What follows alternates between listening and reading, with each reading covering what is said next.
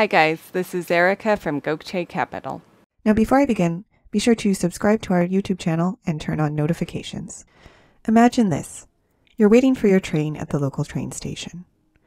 But before it arrives, you decide to use the restroom. You walk out of the station and down a short road. Open a door in a wooden fence and see a toilet sitting in a garden, contained in a glass enclosure and completely open visually to the surrounding garden.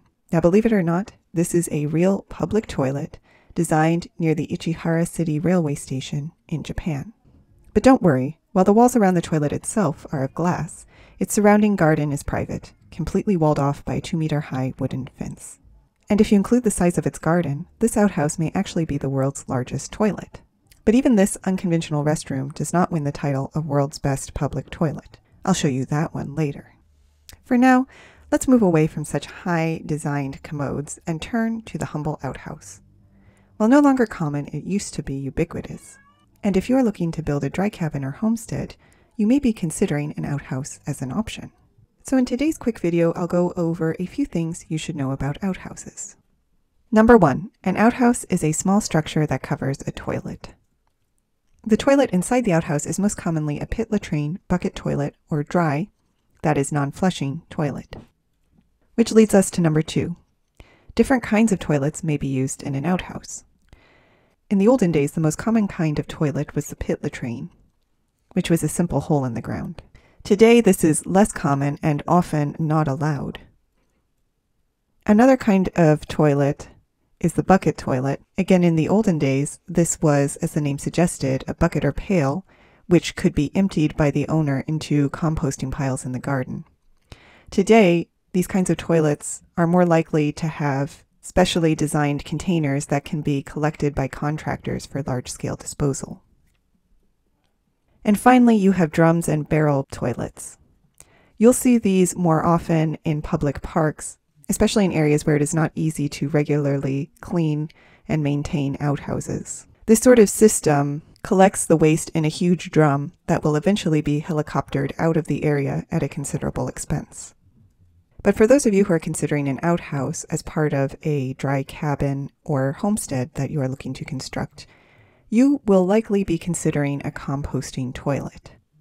As the name would suggest, a composting toilet uses nature's natural decomposition process to reduce waste and convert it into nutrient rich compost that can eventually be used as fertilizer. Composting toilets are becoming more and more prevalent in homesteading circles.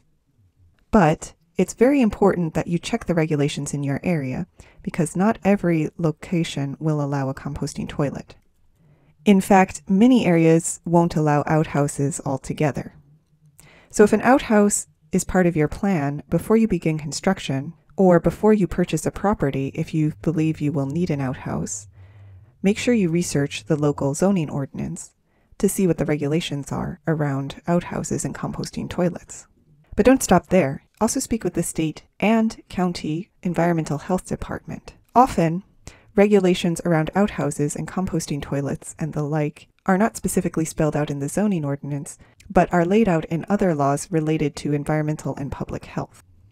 Many jurisdictions do not like these structures for the obvious public health hazards that they can pose when they are not designed properly.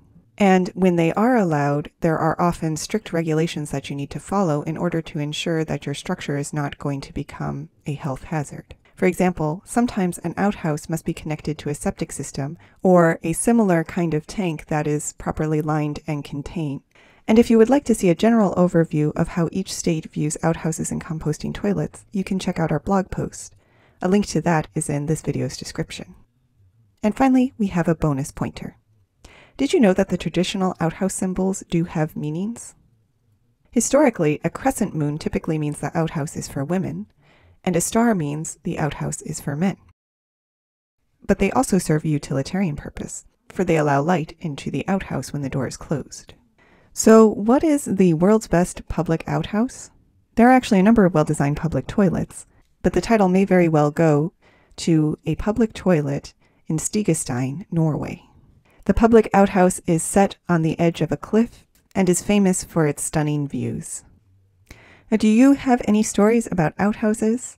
Let us know in the comments. Did you like this video? You're going to love our Gokce Land Due Diligence program. We'll make you a land due diligence expert in just seven days. Check it out at gokcecapital.com slash glad. And while you're at our website, don't forget to explore our $1 down properties at gokcecapital.com slash listings. Finally, don't hesitate to reach out with any questions. You can email, call, or text, and we will respond as soon as possible. So thank you for listening, and more to come.